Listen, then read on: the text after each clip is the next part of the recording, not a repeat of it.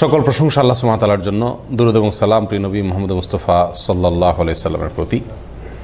প্রিয় ভাইরা আমাদের আর কয়েকদিন পরেই শুরু হতে যাচ্ছে মুহারম মাস, হিজরি বর্ষের প্রথম মাস। এই মাসটির বেশ কিছু তাৎপর্য আছে করোনা মুসন্নার দৃষ্টিতে এবং করণীয় আছে।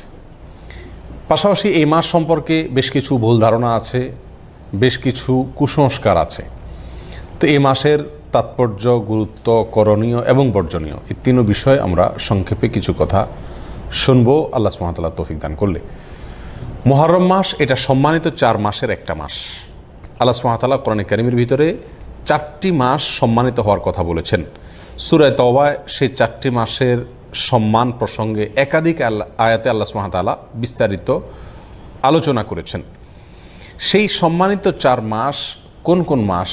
সে ব্যাপারে আবু বাক্রাতা রাদি আল্লাহ তালাহু বর্ণিত সহি বুখারি হাদিসে আসছেন নবী সাল্লা সাল্লাম বলেছেন সালাথুল মোতাওয়ালিয়াত, তিনটি হলো ধারাবাহিক মাস, আর সে তিনটি হলো জিলকদ, জিলহজ এবং এই যে মহরম মাস, এটি।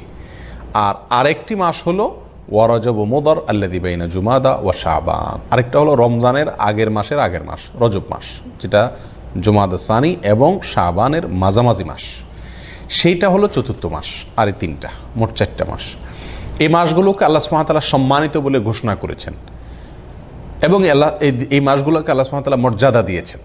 আর সেজন্য এই মাসগুলোকে সম্মান দেওয়া, এগুলোর মর্যাদা দেওয়া একজন ইমানদার হিসাবে আমাদের সকলের কর্তব্য। এই মাসগুলোতে পাপাচার না করা, আল্লাহ সুমাতালা বলেছেন, ফালা তজলিম ফিহিন্না আংফুসাকুম এই সময়ত মাসগুলোতে তোমরা নিজেদের প্রতি নিজেরা অবিচার করো না। মুফাসরিন একরামের অনেকেই বলেছেন, এখানে অবিচার করা বলতে পাপাচার করা, গুনাহের কাজ করা। অর্থাৎ অন্য সময় গুনাহের কাজ করা তো জঘন্য। এই সম্মানিত মাসে গুনাহের কাজ করা, পাপের কাজ করা, অন্যায় করা আরও বেশি জঘন্য।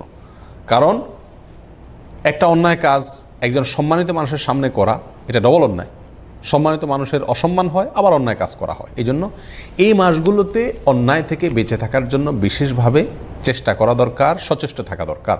কারণ আল্লাহ তালা এই মাসগুলোকে কি দিয়েছেন? সম্মান দিয়েছেন। আল্লাহর সম্মান, আল্লাহর দেওয়া সম্মান রক্ষা করার জন্য এই মাসগুলোতে পাপের কাজে একটু পিছপা হওয়া একজন মুমিনের উচিত। এবং নেকের কাজে, রুটিন নেকের কাজ যেগুলো, সেগুলোতে অগ্রসর হওয়া উচিত। অতএব এই সম্মানিত মাসের অন্যতম প্রধান এই করণীয়, এটি আমরা মাথায় রাখব ইনশাআল্লাহ। এই মহরম মাস আবার সম্মানিত মাসগুলোর ভিতরে অনেক ওলামা একরামের মধ্যে সবচাইতে শ্রেষ্ঠ। সম্মানিত যে চারটা মাস আছে, তার ভিতরে সবচাইতে শ্রেষ্ঠ। এবং রমজানের পরেই মর্যাদার বিচারে মর্যাদার বিচারে শ্রেষ্ঠ মাস হলো এই মহরম মাস। মহরম শব্দের অর্থই হলো সম্মানিত। মহরম শব্দের অর্থই কি? সম্মানিত। এই মাসটার নামই হলো সম্মানিত মাস। এবং হাদিসে এটাকে আল্লাহর মাস বলা হয়েছে। সব মাসই আল্লাহর, সব দিনই আল্লাহর, সব সময়ই আল্লাহর। কিন্তু এটাকে হাদিসে নবী করিম সাল্লাহ সাল্লাম শাহরুল্লাহ সহি মুসলিমের হাদিসে শাহরুল্লাহ বলেছেন। অর্থাৎ আল্লাহর মাস। আল্লাহর দিকে সম্বন্ধ করে এই মাসটির মর্যাদা আরও বৃদ্ধি করা হয়েছে। এই জন্য সম্মানিত চার মাসের ভিতরে আবার এই মহারম মাসের সম্মানটা তুলনামূলক বেশি। সেজন্য এই মাসটা প্রতি আমরা বিশেষ খেয়াল রাখব ইনশাআল্লাহ। প্রিয় ভাইরা একটা কথা আমরা বারবার বলে থাকি, সেটা হলো সম্মানিত মাস কখন আসে, কখন যায়, আমাদের দেশের সাধারণ মানুষ বেশিরভাগ লোক জানেও না। আপনি যদি বুঝতে পারেন যে এই যে চাঁদটা উঠতেছে সামনে, এই মাসটা সম্মানিত মাস, তাহলে আপনি ওই মাসের সম্মান দেখানোর চেষ্টা করতে পারেন।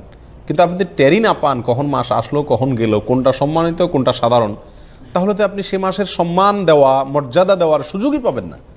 এই জন্য এই ধারণাটি বিলুপ্ত হয়ে গেছে যেহেতু সমাজ এটার ব্যাপক প্রচার করা দরকার। যে বছরে হিজরি বর্ষের বারোটি মাসের মধ্যে চারটি মাসকে আল্লাহ তালা সম্মানিত ঘোষণা করছেন কোরআনে। খুচরা কোনো বিষয় কোরআনে থাকে না।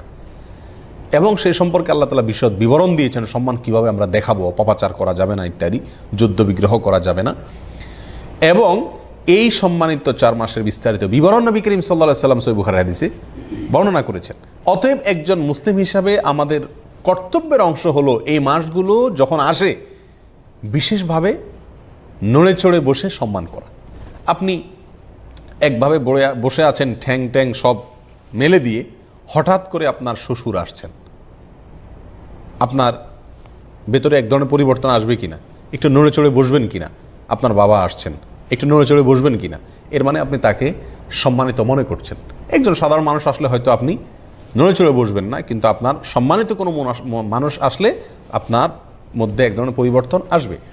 এই জন্য ভাই, সম্মানিত চারটি মাস যখন আসে, একজন মমিন নড়ে চড়ে বসবে।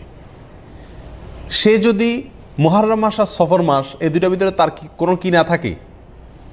তার কর্ম, তার কথা, তার কাজ কাম ইত্যাদিতে যদি কোনো ব্যবধান না থাকে, তার মানে আল্লাহ যে মাসটাকে সম্মান দিলেন, সেটাকে সে কেয়ার করল না। ঠিক না ভাই? ঠিক।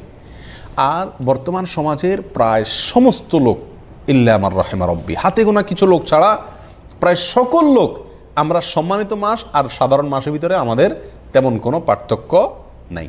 দৈনন্দিন রুটিনের ভিতরে তেমন কোনো পরিবর্তন নাই। এই জন্য ভাইরা দুইটা সম্মানিত মাস কিন্তু অলরেডি চলে গেছে। একটা জিলকদ, একটা জিলহজ। তো এই যে দুটি সম্মানিত মাস গেল অন্য সব আমল আপনি বাদ দেন। এই ষাট দিনের ভিতরে, এই দুই মাসের ভিতরে আপনার মাথায় কয়বার এই চিন্তাটা আসছে যে যে দিনটা যাচ্ছে, যে সময়টা যাচ্ছে, এটা আল্লাহ ঘোষিত, সম্মানিত মাস। এই চিন্তাটা কয়বার আসছে? যারা নিয়মিত নামাজ রোজা করেন, আলহামদুলিল্লাহ, তাদের ভিতরে আপনি খবর নিয়ে দেখেন। আপনি নিজেরটা নিজে চিন্তা করেন। এই জিলহজ মাস গেল। এই মাসে কোরবানির কথা বারবার মনে পড়ছে। কোরবানি করছেন, ভালো কথা। কিন্তু এই মাসটা সম্মানিত মাস। কোরবানির আগে পরের দিনগুলোও মর্যাদাপূর্ণ দিন। এই কথাটা অন্তত মাথায় আসছে। মর্যাদা এটা মাথা আসলেও তো এটার প্রতি বিশেষ সম্মান মন থেকে তৈরি হয়। ঠিক না ভাই ঠিক সেটাই বা আমাদের কতবার হয়েছে? এর উত্তরে আমার মনে হয় বেশিরভাগ লোক বলবেন যে একবারও হয়নি। কি বলেন? আপনাদের কজনের মনে পড়ছে যে এটা সম্মানিত মাস? বলেন। একজন পাওয়া গেছে। তো ভাইরা সেই জন্য এই মাসটি সম্মানিত, এই মাসটি মর্যাদাপূর্ণ, এই ধারণাটি সমাজে ব্যাপকভাবে প্রচার করা দরকার। সামনের যে মাসটি আসছে, সেটি এই সম্মানিত মাসের সিরিয়াল বাই তিনটি মাসের শেষ মাস। আবার সেটা হলো মর্যাদার দিক থেকে সবচেয়ে সম্মানিত। বিধায় এই জিনিসগুলো আমরা কী রাখব ইনশাল্লাহ মাথায় রাখব।